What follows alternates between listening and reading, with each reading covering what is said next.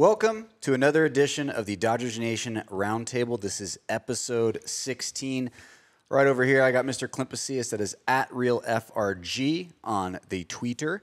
To my left, Mr. Brooke Smith that is at BookMe3 on Twitter and Instagram. My name is Eric Gila. You can find me at EEU LAU. Normally, we debate and discuss all the hot topics surrounding the Dodgers. Trade deadline just happened, but after it was announced that the great Vin Scully passed away on Tuesday night at age 24. We're going to take the time to age 94. We're going to take the time to honor the Dodgers legend, a baseball icon, the voice of summer, the baseball poet laureate, the one and only Vin Scully. Vin Scully is a person who transcended baseball and sports altogether with his approach to his craft, his professionalism, and his kindness to players, managers, executives, fans, and fellow broadcasters. It's hard to encapsulate someone like Vin Scully in just one memory, but Clint, what is your favorite Vin Scully memory?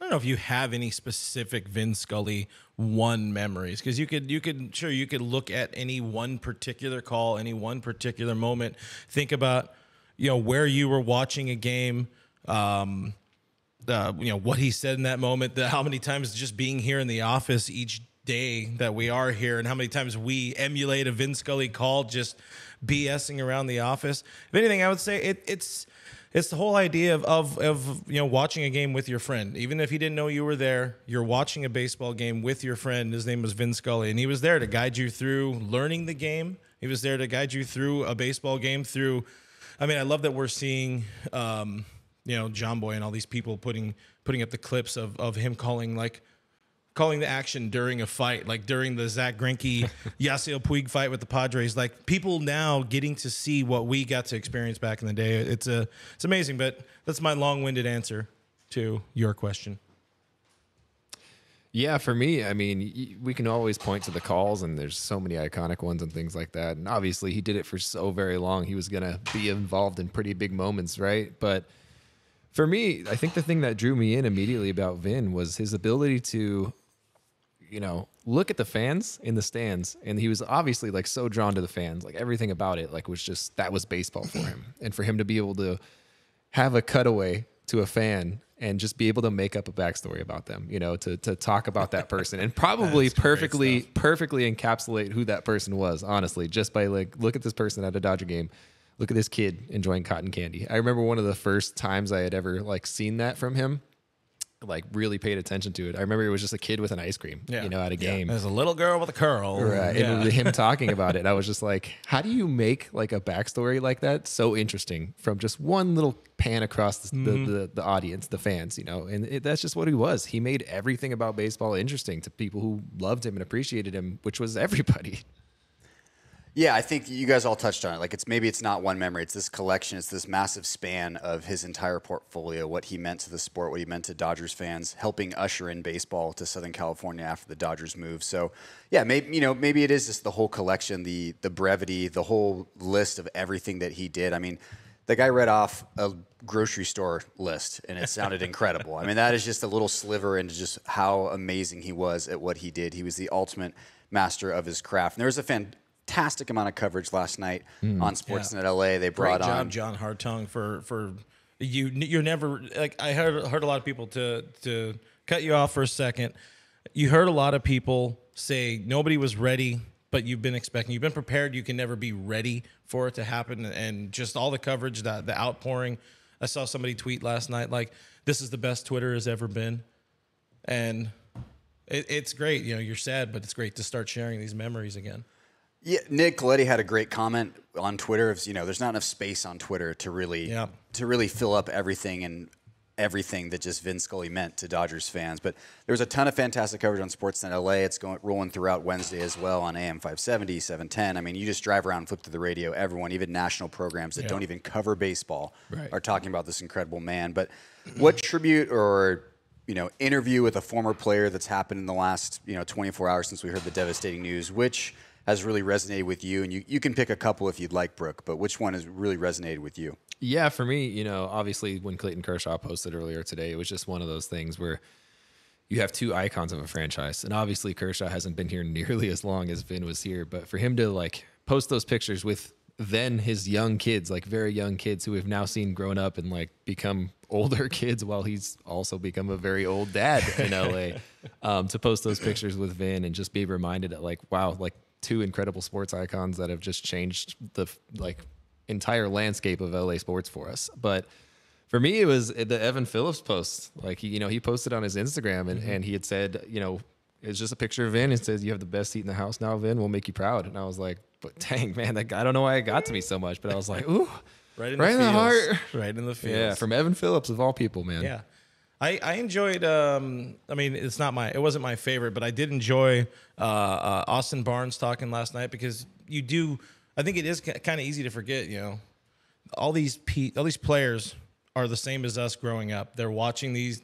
They're watching the game. They're watching their heroes. They're listening to whatever Vin was for them. And you know, he's a Riverside boy. He grew up listening to Vin, of course. And you know, you heard a lot of, of folks talking about how this was just it was the noise of summer. That's what you heard in your house, uh, you know, day in day out. Uh, definitely during the summer, obviously, because they don't play in the in the winter. But to answer the question, uh, I don't remember if it was Rick Monday or Charlie Steiner, but they were talking about the home run after you know Culberson's home run, the walk off. You know, celebrate on schedule, and they go to San Francisco. Vin's only uh, uh, away call of that year calls his final three games to San Francisco.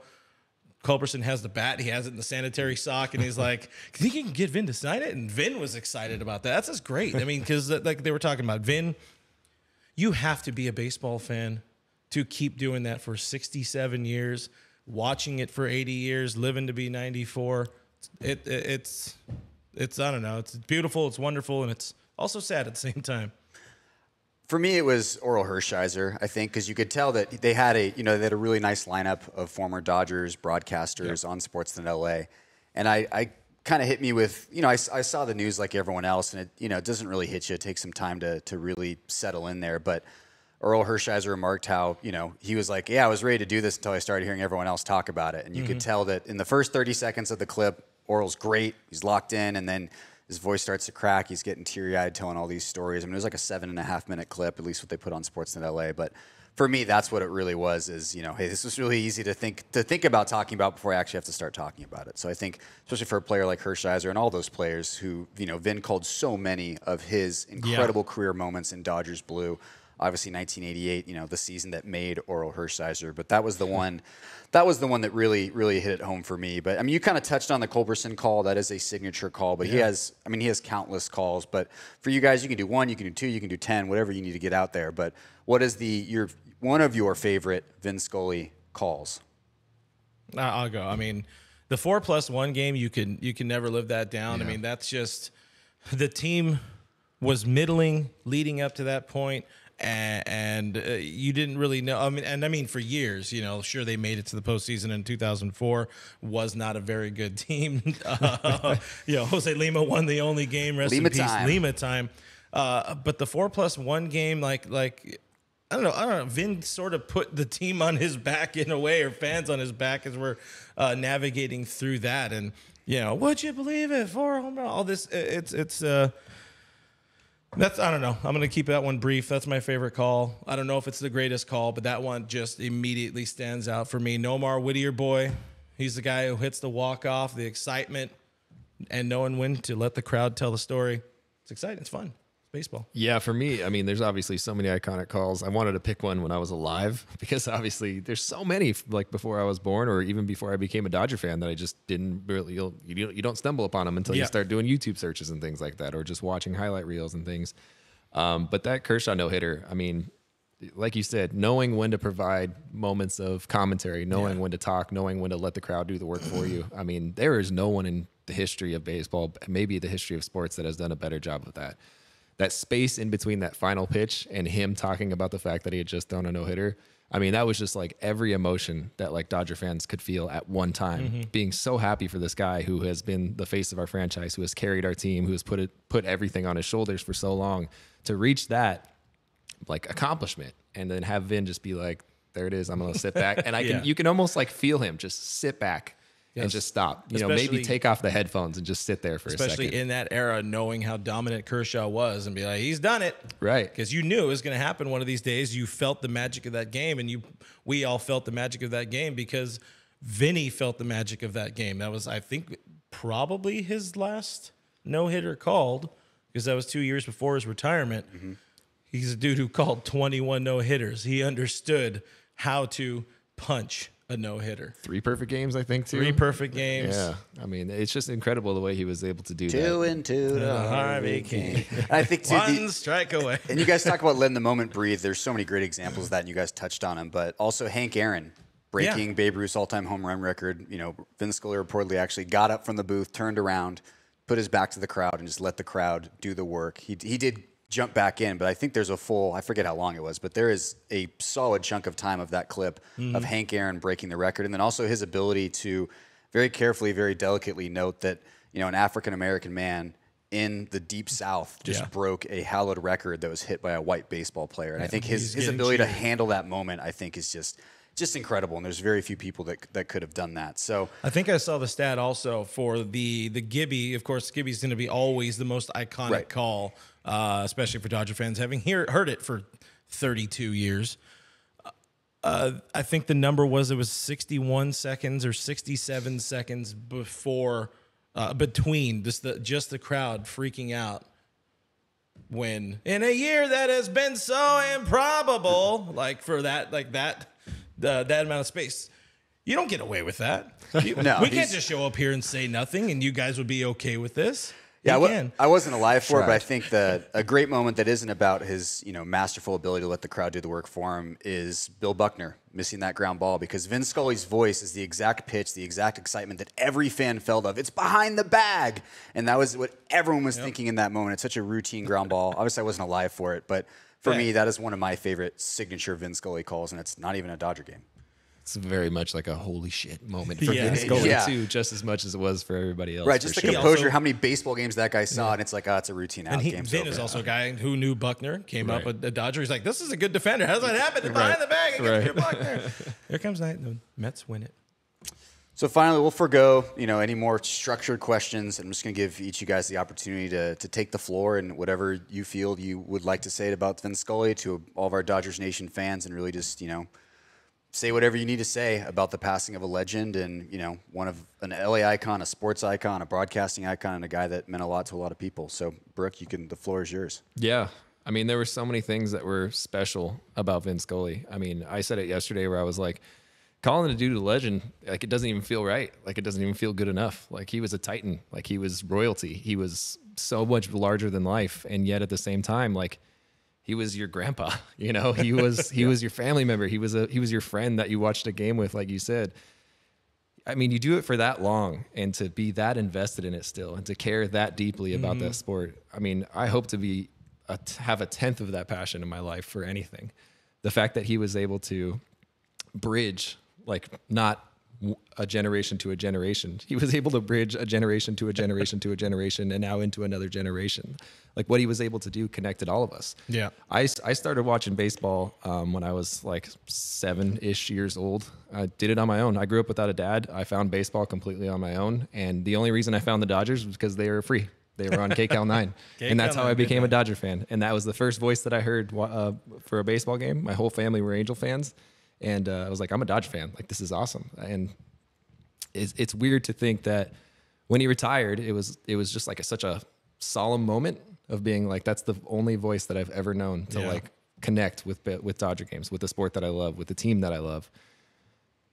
He just did so many things right, you know, and it's it's it's not often that you find that in the world today. like somebody that when you think of him, you're just like, that was a great man, like top to bottom, that was just Yeah. a great man. From everything that I know about him, a great man. So everything that he did, all the work that he put into it, I just don't think it'll ever be matched. There will never be another like him. There just won't be. And I think that's cool. I think that's a good thing, you know. Yeah. And and to add to that, Joe Davis, he did a phenomenal job handling a moment that no matter how ready Yeah. you think you are for that moment, you can't be ready for that. And and he brought everyone in to be like, we're gonna feel this together because we are gonna feel this. We're gonna feel this. Mm-hmm. Yeah, and he it's knew okay. when to stop making it about baseball, understanding the moment. You know, him and Jessica Mendoza facing the camera uh, at just the right time. It just, it, yeah.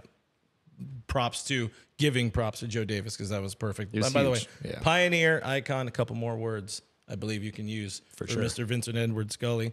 For me, uh, yeah, I'm sure everybody got the messages. You got texts, people who know what baseball, what Vin meant to you. I had uh, somebody message me like, "Hey, you doing all right?" You know, um, I, I said that the way I I immediately spun it in my head. It's you know, Vin was family. You you don't always get to pick your family.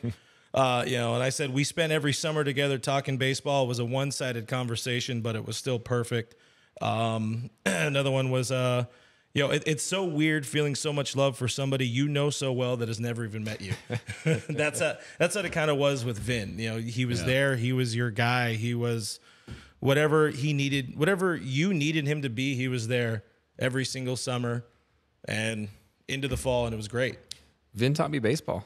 I mean, there's no other way around it. Vin taught me everything I know about the sport, and you know that's that's crazy. Like somebody that you uh, didn't know you existed. We almost got the chance to meet him. I didn't, but you know, it's just one of those things where it's just somebody that you'll never forget. You know, I'll be hopefully 94 years old talking about Vin Scully, and people are like, my my great grandkids or whatever, like, who the hell are you talking about? I'm like, you're gonna know. and, and the humility of the man. I mean, you look at when they dedicated the, you know, changed the name, Vin Scully Avenue. He's like, in a couple of years, he's kids are, who's Vin Scully? It's like, you know, it, it's he he didn't like any of it.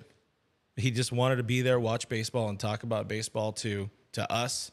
Uh, you know, his final game at home. You know, I I needed more, needed you more than you ever needed me. That's, I mean, that's a lie. We all uh, we all needed Vin as uh, as we were coming up and and doing this. Um, I mean, yeah, there's so many things you could say, so many moments as you're talking, as as this guy's talking. You know, things just coming out of mind. But what's what's your what is Vin to you, Mister EEU LAU? I mean, to, to try to sum them up like we're all trying to do and we're all doing it in, our, in the best way we can is, is impossible. I mean, there's just no way to to really characterize someone of like this, like a like a titan, as Brooke said, is is a great a great. When you have Bob Costas and Al Michaels giving you your roses after you pass, I mean, that tells you all you need to know. Those are two of the biggest names, two of the best names. Um, I, I think the connective tissue, um, like from generation to generation, whether it's your father, your mother, your uncle, your grandfather, your friend who lives on the other side of the country, and you guys would, would tune in to you know listen to Vin Scully together.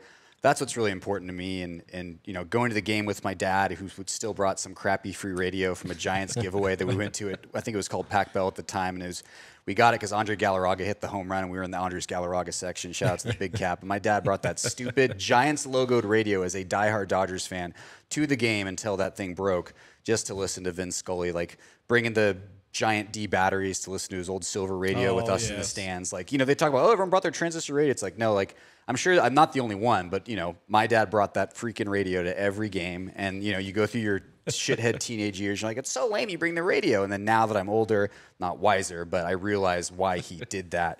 Um, I actually had the opportunity to go to the Charlie Culberson game um, with my friend who had season tickets, which I'm, I'll always be very thankful of. And, you know, you, you have so many memories. I had to like text him today. I was like, we were at that game together, right? Because it's just like out of body experience is probably Yeah. too far of a word, but like I just couldn't really like. I was like, we were at that game. He's like, yeah, we were at the game, and he sent me a photo of the ticket. I was like, all right, cool, I was there. But that was really cool just to see Vin and the way he brought it all in, and just how humble he was. And you could tell he didn't want to do any of it. Yeah. But he Oh, knew yeah. that the fans needed it mm-hmm. more than he did. So I will say he was right about that, but he was dead wrong about us him needing us more than we needed him, and that just wasn't true at all. And you know, he called a lot of perfect games. That guy threw 67 years worth of perfect games. Yeah, no like kidding. never a bad call, never a missed call. The evolution of the game, the players changed, the coaches changed, the managers changed, the logos changed, the stadium changed, and he didn't because he didn't need to because he was perfect. So. That's what I'll always remember about Vin. Unless you guys have anything else uh, to close up, For for me, I just he's one of those guys. You know, we've been doing this now. Brooke and I have been around Dodgers Nation since 2018, and you know, one of the first people, me and uh, my old co-host Kevin, we interviewed uh, Fred Claire, former Dodger GM, and like I knew if I if I push this guy, I can get Vin, but Vin doesn't want that, and I respect this man. I love this man too much to bother him. I had one close encounter with Vin doing this 2020. I just uh, I, I posted it on my uh, my Instagram earlier today.